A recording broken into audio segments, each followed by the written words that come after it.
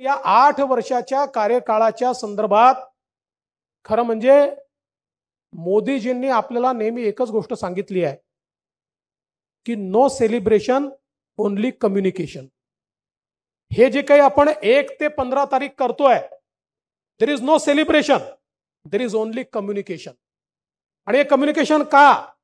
याचं कारण असं आहे की आजपर्यंतच्या सरकारमधल्या योजनांचं फेलियर काय होतं?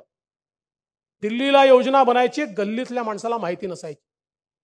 There was no delivery system there was no communication system ही जी काही सामान्य माणसापर्यंत पोचणं आणि त्याला अवेअरनेस असणं या दोन्ही गोष्टी नव्हत्या.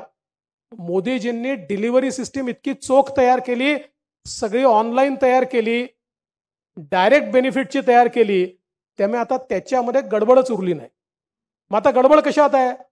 तर गडबड ही आहे की जर सामान्य माणसाला माहितीच नसेल की माझ्याकरता योजना काय तर त्या योजनेचा तो लाभ कसा घेईल?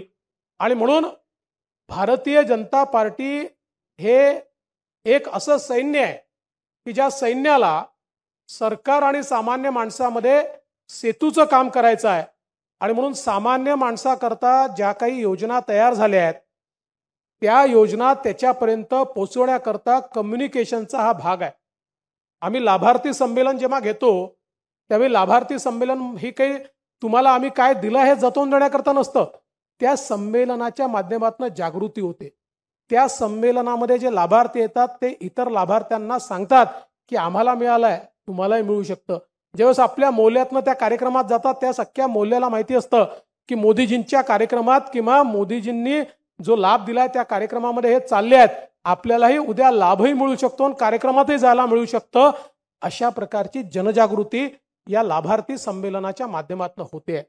आणि म्हणून एकीकडे अशा प्रकारच्या कम्युनिकेशनच्या योजना आपण करतो आणि दुसरीकडे भारतीय जनता पक्षाचा विस्तार शेवटच्या माणसापर्यंत करायचा असेल तर आमची ताकद तर वाढली आहे पण अनेक वेळा आमची सवय काय असते?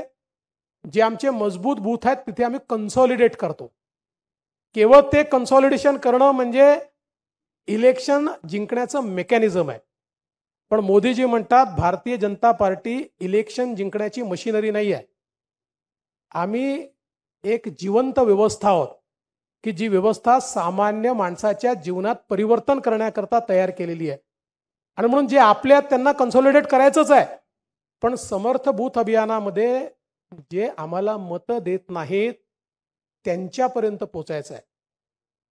ज्यांच्याकडे अजूनही आमच्याबद्दल काही संभ्रम असेल त्या लोकांपर्यंत पोहोचून त्यांचं मनपरिवर्तन मतपरिवर्तन करायचं आहे आणि त्यांना देखील आपल्या पक्षाच्या मुख्य धारेत सामील करून घ्यायचं आहे.